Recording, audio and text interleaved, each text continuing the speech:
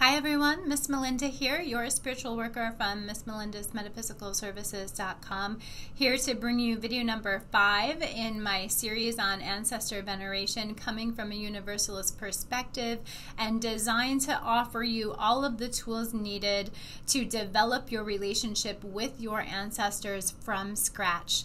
If you haven't seen videos one through four, please go back and look over that foundational information.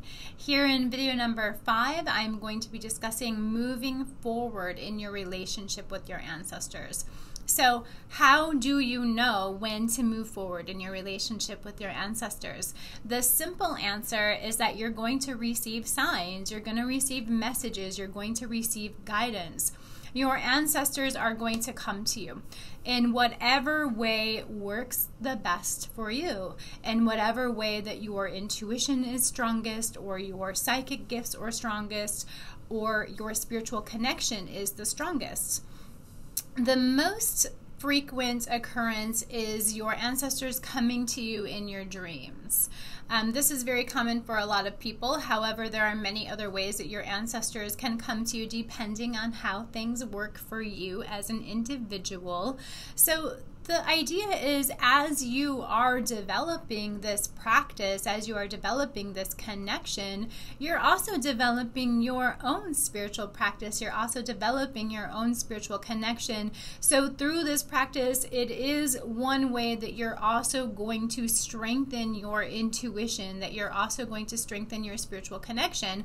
And with that comes more awareness of yourself, more awareness of how your messages come to you, more awareness of how your intuition works more thoughtful awareness throughout your daily life. And that's going to help you in receiving the signs, messages, and guidance that your ancestors will send to you.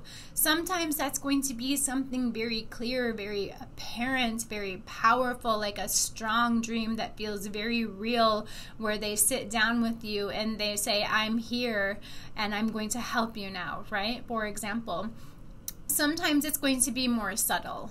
So, for instance, as you are speaking to your ancestors on a daily or weekly basis, talking to them about your life, telling them about your challenges, your goals, and so forth, you may come to realize eventually that they are helping you with those things.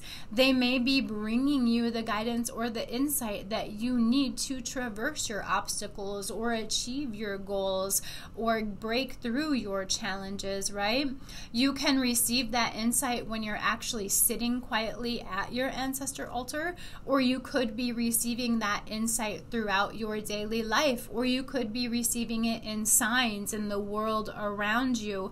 Whatever the case may be, it's important for you to be aware and to be in tune so you recognize and you actually take notice of these signs, these messages, this guidance that is going to come to you once you notice that that has come to you at least three times, or when it's coming to you consistently throughout your life, or you've received some very significant signs, significant interactions, or significant messages, that's when you know it's time to move that relationship forward. And you will know, you will know intuitively, you will feel that something has shifted in the relationship.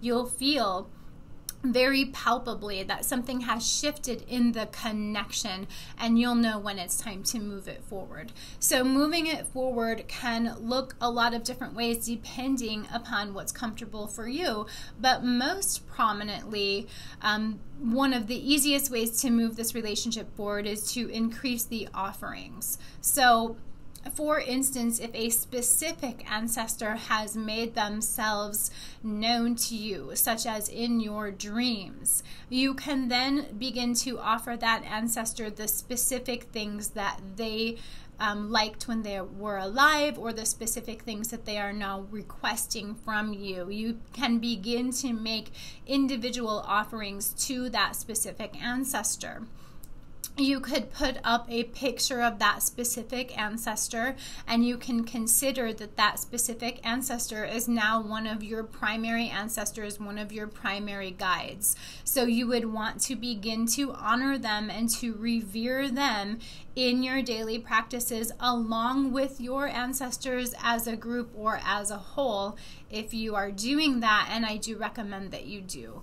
So that's one way to begin to move it forward another way another thing that you can do when you're moving your relationship with your ancestors forward is you can begin to actually ask them for more. You can ask them then for specific guidance related to your life. So it's not recommended to ask your ancestors to directly intervene in your life um, you wouldn't ask them for the kind of intervention that you would ask from a saint, for example.